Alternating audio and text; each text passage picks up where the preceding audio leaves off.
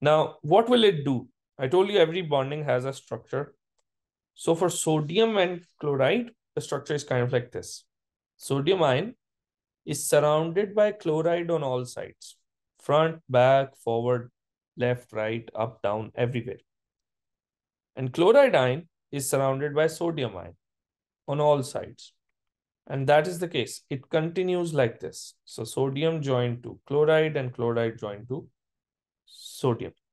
And this thing is called lattice. So there is a lattice of ions, or you can call it ionic lattice. Lattice means regular structure. So everything is in regular structure. What does it do? It makes them hard because it's difficult to move them around if they are fixed in their place. So one is the reason and one is the explanation or one is the effect. Similarly, there is strong attraction.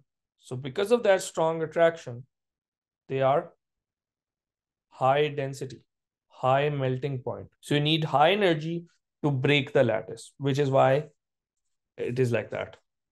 And notice there is no free electrons.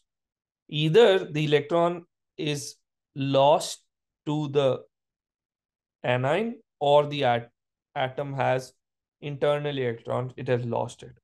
So या उसके पास था उसने दे दिया और दूसरे ने ले लिया. There is no free electrons. So they are bad conductors. So that's ionic bonding. Again, just like metallic bonding, you have something that is the effect so examiner can ask you, okay, list down the properties or outline the properties, or there is one side which gives us the reasons. Or examiner can ask you for the reasons that, okay, why is thing, this thing behaving like this? Why is ionic compound hard? Because it has an ionic lattice and ions are fixed in their place.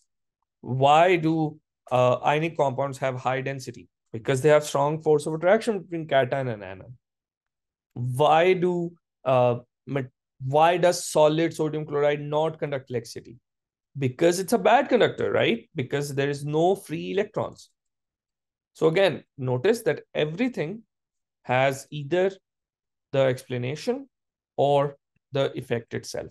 And that's the important bit about it